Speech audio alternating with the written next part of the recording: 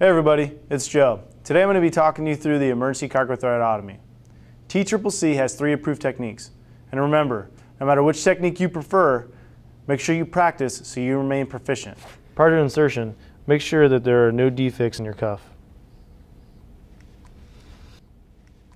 The first step in this procedure is we're going to take our non-dominant hand, take your index finger, and you're going to walk down from the thyroid cartilage and find the cricothyroid membrane. If the situation permits, make sure you cleanse the site.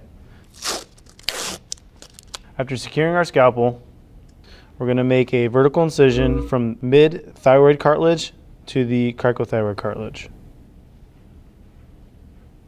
After making your vertical incision, repalpate the cricothyroid membrane. Next, take your scalpel, place it horizontally and puncture through the cricothyroid membrane. Take your tracheal hook, insert and elevate against the tracheal ring. After securing the site with your trach hook, we're going to take the tip of the cric key and insert it into the incision. Once placement has been confirmed, remove the trach hook by turning it towards the patient's shoulder. Next, we're going to inflate the cuff and remove the bougie. After removing the bougie, take your EDD and confirm placement.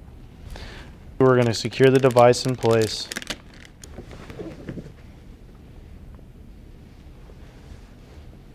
Lastly, we're going to confirm placement. If the patient is breathing spontaneously, be sure to auscultate bilaterally to ensure adequate respirations. If your patient is apneic, hook your BVM up to the Cric Key. When auscultating, auscultate over the epigastric, over the left lung field, and then over the right. After you confirm placement, be sure to reassess, monitor your SpO2, and annotate your treatments on a DD Form 1380.